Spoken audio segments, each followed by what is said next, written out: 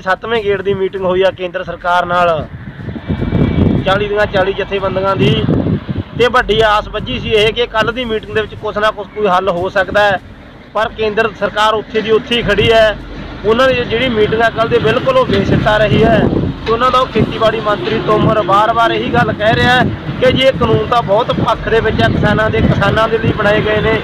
ਤਾਂ ਕਰਕੇ ਉਹ ਮਤਲਬ ਕੱਲ ਮੀਟਿੰਗ ਦੇ ਵਿੱਚੋਂ ਸਾਡੇ ਕਿਸਾਨ ਉੱਠ ਗਏ ਆਏ ਨੇ। ਉਹ ਮੀਟਿੰਗ ਮਤਲਬ ਬੇਸਿੱਟਾ ਰਹੀ ਪ੍ਰਧਾਨ ਜੀ, ਇੱਕ ਗੌਰ ਪੰਜਾਬ ਸਰਕਾਰ ਵੱਲੋਂ ਨਗਰ ਪਾਲਿਕਾ ਤੇ ਨਗਰ ਕੌਂਸਲਰ ਦੀਆਂ ਚੋਣਾਂ ਕਰਵਾਈਆਂ ਜਾ ਰਹੀਆਂ। ਇਹਦੇ ਬਾਰੇ ਤਾਂ ਤੁਸੀਂ ਕਿਸ ਨਜ਼ਰੀਏ ਨਾਲ ਵੇਖ ਰਹੇ ਹੋ? ਦੇਖੋ ਜੀ, ਜਿਹੜੀਆਂ ਸਿਆਸੀ ਪਾਰਟੀਆਂ ਜਿਵੇਂ ਕਾਂਗਰਸ ਸਰਕਾਰ ਦਾ ਰਾਜ ਆ ਪੰਜਾਬ ਦੇ ਵਿੱਚ, ਉਹਨਾਂ ਦੀ ਇਹ ਫਸਲ ਆ, ਉਹ ਫਸਲ ਦੇ ਤੌਰ ਤੇ ਆਪਦਾ ਇੱਧਰ ਮਤਲਬ ਸਰਕਾਰਾਂ ਲੱਗੀਆਂ ਰਹਿੰਦੀਆਂ ਨੇ। ਕਦੇ ਮਿਊਨਿਸਪਲ ਦੀਆਂ ਆ ਗਈਆਂ, ਕਦੇ ਐਮਐਲਏ ਦੀਆਂ ਆ ਗਈਆਂ, ਕਦੇ ਸਰਪੰਚੀ ਦੀਆਂ ਚੋਣਾਂ ਆ ਗਈਆਂ। ਇਹਦੇ ਚੋਂ ਕੁਝ ਨਾ ਕੁਝ ਨਿਕਲਿਆ, ਨਾ ਸਾਡੇ ਲੋਕਾਂ ਦੇ ਇਹਦੇ ਚੋਂ ਕੋਈ ਫਾਇਦਾ ਹੋਣਾ। ਤੇ ਉਲਟਾ ਪੰਜਾਬ ਸਰਕਾਰ ਦਾ ਕੱਲ ਦਾ ਜਿਹੜਾ ਉਹਨਾਂ ਦਾ ਭਾਰਤ ਭੂਸ਼ਣ ਮੰਤਰੀ ਹੈ, ਉਹਨੇ ਪ੍ਰੈਸ ਕਾਨਫਰੰਸ ਦੇ ਵਿੱਚ ਖੁਦ ਇਹ ਮੰਨਿਆ ਕਿ ਜੋ ਮਤਲਬ ਇਹ ਕੇਂਦਰ ਸਰਕਾਰ ਨੇ ਕਾਨੂੰਨ ਲਾਗੂ ਕੀਤੇ ਸੀ, ਲਿਆਂਦੇ ਸੀ, ਉਹ ਅਸੀਂ ਪੰਜਾਬ ਦੇ ਵਿੱਚ ਲਾਗੂ ਕਰ ਚੁੱਕੇ